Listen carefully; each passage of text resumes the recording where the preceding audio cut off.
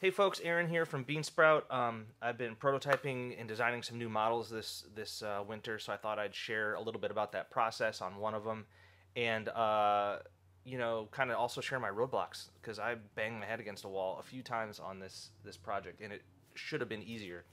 Um, so what I'm, uh, I just figured for some of you creative types, maybe you'll like uh, hearing about my process, or um, maybe it'll be helpful to somebody else trying to make something. So uh, typically, I've been making uh, three sizes of ukulele: the alto, tenor, and baritone.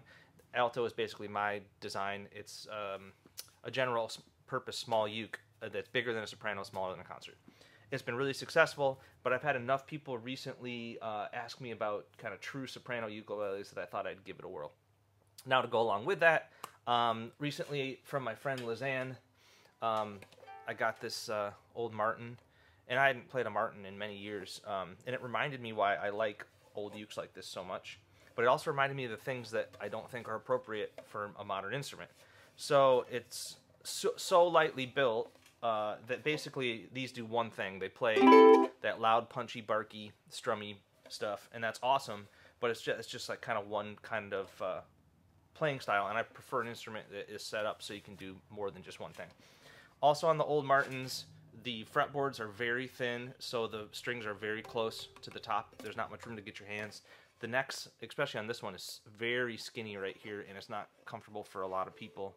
Um, and they don't have radius fretboards, they don't have geared tuners, you know, stuff like that.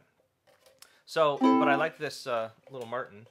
Um, the other instrument that is uh, in, in inspiration to me is my little Lyon and Healy Washburn soprano.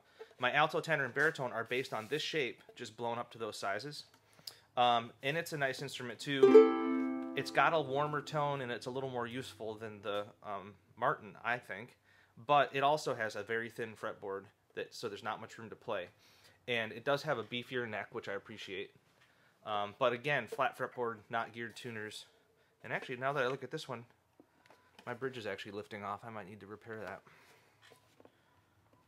So anyway, uh, when I got started designing this, I had traced. I didn't want to copy a Martin because everybody copies a Martin, and even though I'd already copied a and Healy, for some reason I decided to try a, a, third shape, and I had traced an old Regal ukulele that I loved and had kind of a very small design, and I thought I'm gonna go for that. So I made, I got started. And when it got to the first coat of finish, Nicole looked at it and she goes, Aaron, that's cool, but why did you change the shape? Why? All your other ukes are this shape. Why are you doing something new? And I said, I don't know. I just did it. And so I, I slept on it and I took her advice and I agreed that this is a cool shape, but I'm not going to do it. Um, so this hung on the wall for a couple weeks, and now my son Henry decided he wants it, so he and I are going to finish it and he can have it. Um, and there's other little things about this as I went that I didn't like uh, enough that I wasn't going to put it out anyway, but it'll be good for Henry and it uh, he'll be one of a kind. So. Anyway, there's that. So then I changed the shape. I was like, she's right. I got to trace my Lyon and Healy and do that. But and I got this far on this one, and I didn't like how thin this was. I didn't like the neck wood I had chosen. It made for several problems with the neck. Uh, won't go into here. It also was too thick and bulky there.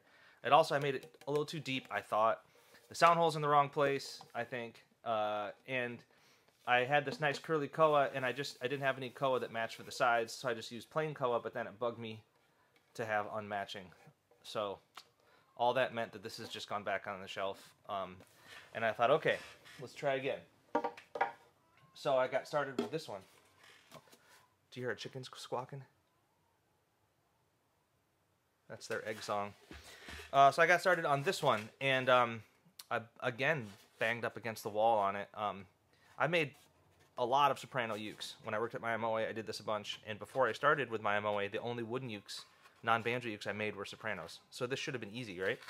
Um, but this one, I had a funny thing happen. I had to make a new building mold to build the body in, and I had made a mistake at the neck angle area, and I hadn't noticed.